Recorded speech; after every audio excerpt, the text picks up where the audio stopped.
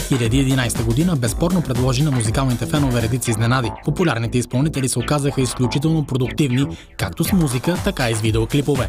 Не може обаче да се пренебрегне една друга група изпълнители, които с гръм и трясък се появиха на музикалния хоризонт. Представяме ви дебютните видеоклипове през 2011 година. Въпреки, че се появи в края на годината, видеото на Дивна предизвика интерес както сред тинейджерите, така и сред по-възрастното поколение. И ти не можеш да ме спреш е озаглавено дебютното видео на младата изпълнителка, в което участват Криско и Миро. Вече порасналата дивна, позната на публиката още от участието и в реалитито Пейсмен, помете холивудските тин звезди не само с глас, визия, но и с атрактивна хореография, за която симпатягите от The Center са се погрижили. Няма как да не отбележим дебютното видео на още един млад изпълнител Диди. Видеото е заснето от популярния режисьор Андрей Хаджи Василев. Позитивното излъчване на Диди, куп весели танцори, много цвят и приятна и запомняща се мелодия. Това ви очаква в Като мен. The Other Side of the Moon е заглавено дебютното видео на Алекс Жекова.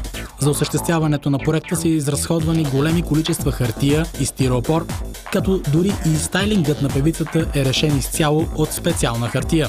Видеото на Алекс предлага стилна визия, залагаща на най-модерните световни течения в заснемане и видеомонтаж. Въпреки, че Йоанна е позната на широката публика още като вокалистка на Deep Zone, през 2011 година изпълнителката представи дебютното си самостоятелно видео «Нищо случайно», което по-късно дори се здоби с своя английска версия.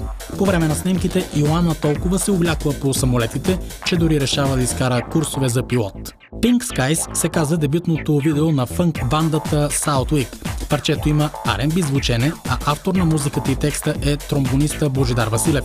Забелязах сенките на музикантите, които падат върху фона и реших да снимам клипа в подобна стилистика, аргументира идеята за концепцията на видеото режисьора Добрин Кашавелов. Пожелавам успех на всички изпълнители и дано 2012 бъде още по-успешна за тях.